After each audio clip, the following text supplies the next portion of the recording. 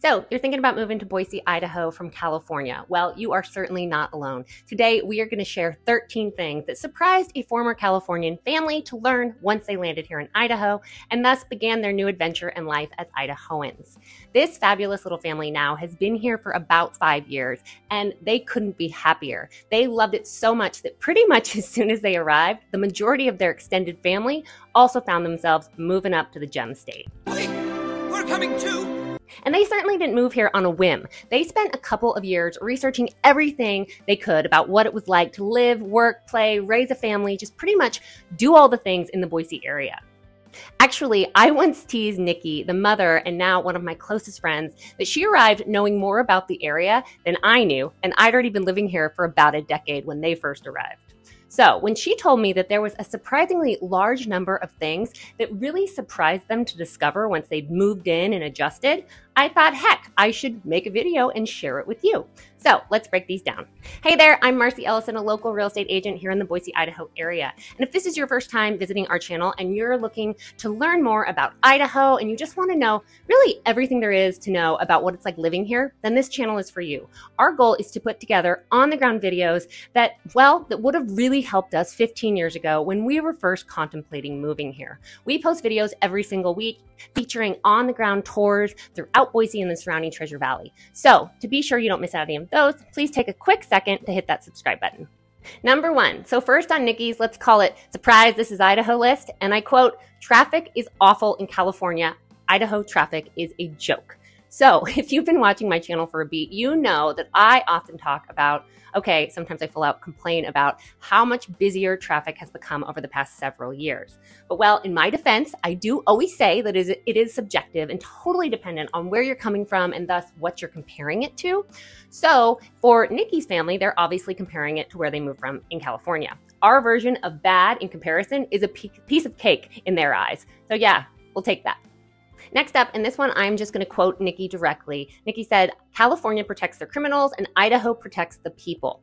While I have never lived in California, so I don't have firsthand experience of what it must feel like, I have definitely heard this sentiment voiced by a large number of former Californians. It's certainly a strong opinion that leaves, for myself anyhow, a lingering just kind of eek vibe.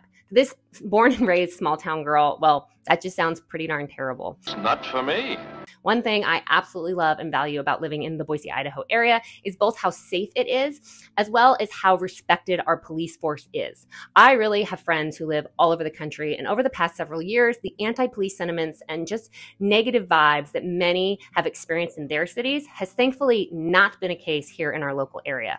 Idaho is among the safest states in the nation, and that's something that we don't take lightly or for granted.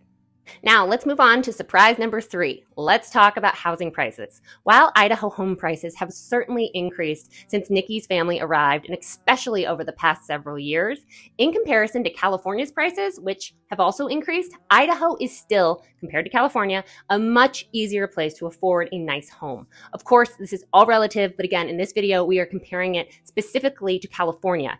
And yeah, in comparison to California, home prices in Idaho are more affordable. Next up, and I'm just going to quote Nikki directly on this one too watering your lawn in California requires paying by the gallon. Irrigation water in Idaho is sent from Jesus. Holy water fees.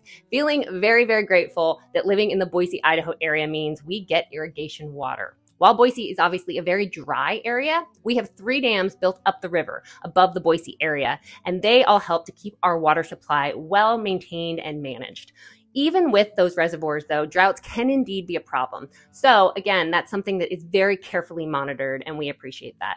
So, like Nikki said, thank you, Jesus, for irrigation water. Paying per gallon would indeed add up. We currently live on a third of an acre, and we have an above ground swimming pool. We call it our hillbilly pool, and then a front and a backyard. But my goodness, that would add up quite quickly if we were paying per gallon. So, yes, thankfully, our irrigation water certainly helps our pocketbook.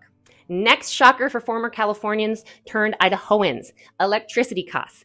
Power bills across California are significantly higher than what we pay here in the Treasure Valley. Electricity bills can, of course, vary between states due to factors such as energy sources, infrastructure costs, regulations, and demand. And California definitely relies more on renewable energy sources than what we do here in Idaho. And then California's larger population, thus higher demand for electricity, also likely, likely contributes to that higher cost. In Idaho, on the other hand, we have lower electricity bills due to our different energy generation mix and comparatively lower population density. I'm also guessing that since we have four seasons here in Idaho, and so we don't need or use full on AC for nearly as long as many who live in some areas in California probably do, yeah, I would guess that would probably play, pay a role. play a role. Play. That's what I meant to say. Play a role. Now, let's move on to shocker number six. Apparently, in the Boise, Idaho area, our car registration cost is a fourth of the price that they pay in California. So that's cool. Longtime Idaho locals have lately been complaining about the uptick we've seen in registration fees. So I suppose, similar to when we complain about traffic, it's all relative, right? One thing is for sure, though, this day and age, every single dollar counts, right? So another 10 points to Idaho. We are winning in this fight. Now that we are talking about utilities and the cost of living, let's talk about homeowners insurance and property taxes. Apparently, both of these in Idaho are half of what you would expect to pay in California. Homeowners insurance in California is typically more expensive in areas prone to natural disasters like wildfires, earthquakes, and floods, because obviously those increase the risk of property damage. The high demand for insurance coverage in these areas also contributes to higher premiums. Additionally, construction costs, regulations, and the cost of living in California California can also impact insurance rates. It's a combination of those factors that contribute to the overall expense of homeowners insurance for Californians. So another 10 points for Idaho, right? Gonna win. Now, on to surprise number eight, and I will just read this one. Nikki wrote, People are infinitely friendlier in the Boise area. They treat you like family. If we had a dollar for every time someone had shared this sentiment with us, we'd Cha-ching, cha-ching. well, we'd buy a second house and it would be an eagle.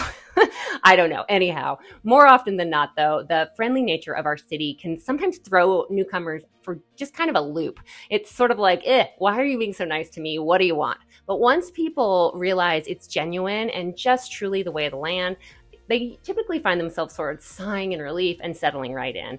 And that's a pretty awesome thing to both hear about and watch and experience firsthand. Next up, holy gas prices. Apparently, gas prices in California are consistently at least a dollar more per gallon than they are here in the Boise area. So I had to look this one up. As of today, so in the beginning of September 2023, gas prices in California are $5.37 gas prices in our local Boise area, the average price right now is $3.99. So, yeah, that's certainly a pretty significant difference. Yikes. Sorry, Californians. You give me some gas money? The next big surprise sales tax. While some complain here in Idaho about the 6% sales tax we have, in California, the sales tax is 7.25%. California's rate is made up of a base rate of 6%, plus California adds a mandatory local rate of 1.25% that goes directly to city and county tax officials. And then, depending on local sales tax jurisdictions, the total sales tax can be as high as 10.25%. The sales tax. So, yeah, that would definitely add up. And hmm, maybe I should stop complaining about the 6% tacked onto my Costco receipt. Eh? But again, really is all relative. now, let's cover surprise number 11 on our surprise, this is Idaho list.